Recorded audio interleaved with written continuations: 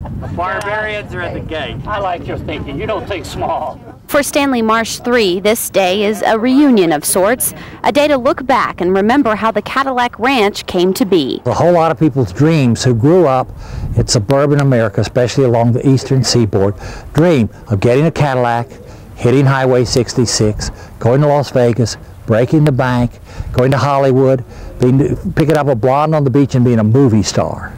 That wasn't quite Rachel Martin's idea, but she did wind up getting married at Cadillac Ranch. Well, we always loved Stanley Marsh's art projects, all the crazy stuff he had done in other parts of Amarillo, and we wanted to just find a unique place to have a party and celebrate our marriage, and this was it, this turquoise Cadillac.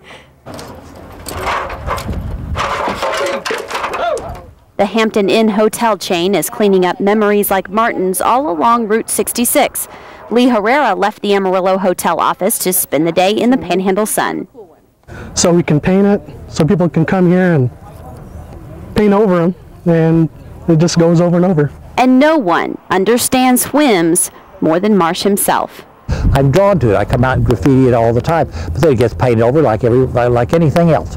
Important things should not be permanent. Important things are too important to be permanent because they take up all the headlines. And we're ready for new headlines the next day.